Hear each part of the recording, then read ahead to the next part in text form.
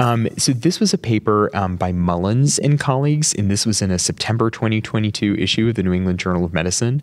Um, and the question that the ADVOR trial was asking was Does adding acetazolamide to loop diuretics lead to faster decongestion in heart failure? And what was compared in this study, patients were randomized one to one to get either uh, IV acetazolamide or a placebo, in addition to a standardized protocol of diuresis using loop diuretics. The top line finding in this study was that patients who were randomized to acetazolamide were 46% more likely to be euvolemic at day three. And this was an absolute difference of about 12%, or a number needed to treat of eight. Can you talk a little bit about the congestion score and like how like clinically relevant that may or may not be? Yeah.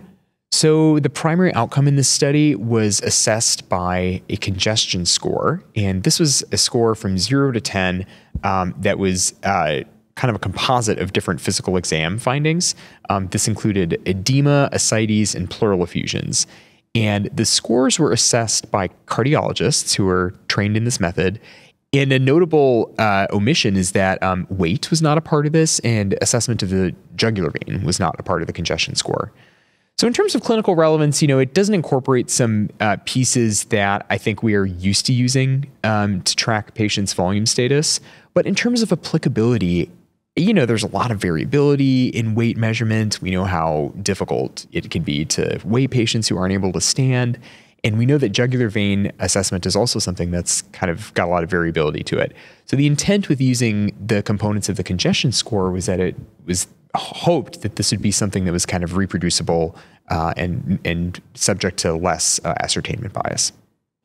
So they didn't include the SGLT2 sort of because of timing. Um, but when I look at this one coupled with like EMPULSE um, or frankly all of the SGLT2 studies that have come out in the last couple years, like how do you actually in practice apply the acetazolamide and um, the SGLT2? Yeah. This is a really important question, Meredith. And all the cardiologists I've spoken to about this have been a little underwhelmed.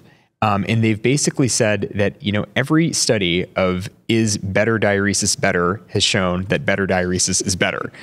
so that's not really going to surprise anybody. Um, I do think the big um, uh, the big unknown that remains to be seen with the applicability of, of this trial is whether or not this same effect size is going to be seen in patients who are already getting you know action at that part of the nephron. Because EMPULSE really suggested that it's it's probably some type of diuretic augmentation that's responsible for that symptom benefit. So, you know, in the modern era where all patients with heart failure are going to be on SGLT2s, whether this effect size that we saw in a naive population from acetazolamide is going to translate, that that remains to be seen.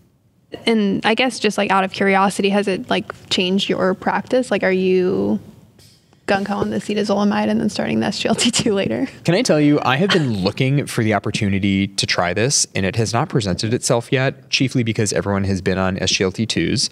What this study did um, persuade me of, at least, is that augmentation of diuresis in patients who are not diuretic resistant is probably safe. Okay. And that is a question that comes up all the time. You know, whether patients um, whose output is slowing down, you know, should we start metolazone or chlorthalidone in these patients? This study, um, in my view, gave me um, some evidence to kind of make me feel like that strategy is, is going to be safe.